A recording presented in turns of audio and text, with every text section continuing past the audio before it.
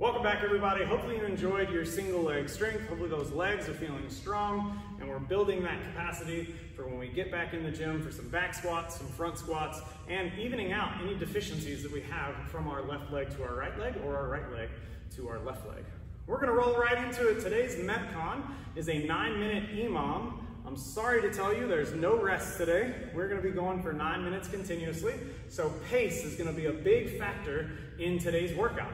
Minute one is going to be alternating dumbbell or kettlebell lunge. Minute two is going to be dumbbell or kettlebell deadlift.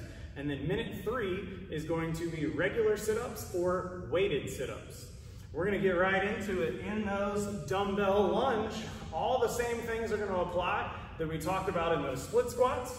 Make sure that you're giving yourself enough width from left to right to really balance out. And make sure that whether you're lunging forward or lunging backward, that we're keeping those shoulders right over top of those hips and keeping that torso nice and upright. From there, we did sumo deadlifts earlier this week for some skill strength. Today, we're gonna hit our regular deadlifts.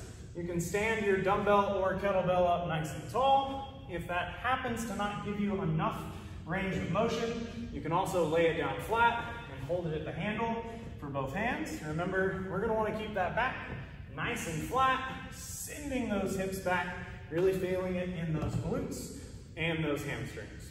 Then, for our weighted sit-ups, no, I'm not gonna use a 40 pound dumbbell, by the way. While it may be entertaining for you guys to see me to try doing that, wouldn't be good for the demo video.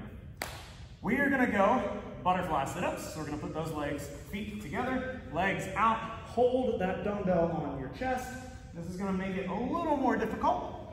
We are gonna start shoulders on the ground and finish shoulders in front of our hips.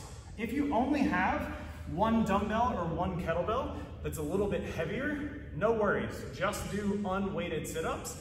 You're gonna find these to be a little more difficult, not only because there's weight on our chest, but also because we don't have that upward momentum assisting us like we normally do when we can use our arms. So, nine minute EMOM, alternating lunges, deadlifts, sit-ups. Hope you guys have a great time. Hope you guys have a great day. And hopefully I'll see you back here tomorrow for Saturday's workout.